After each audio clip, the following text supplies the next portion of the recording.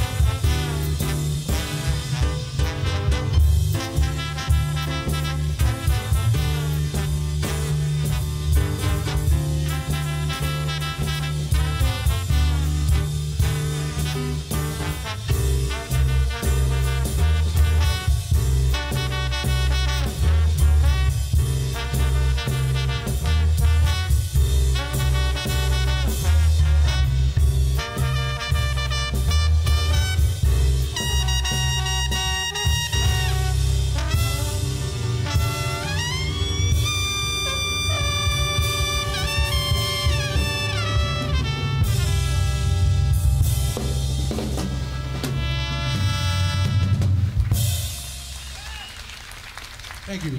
After Furious. After Furious. This one's called Nardis.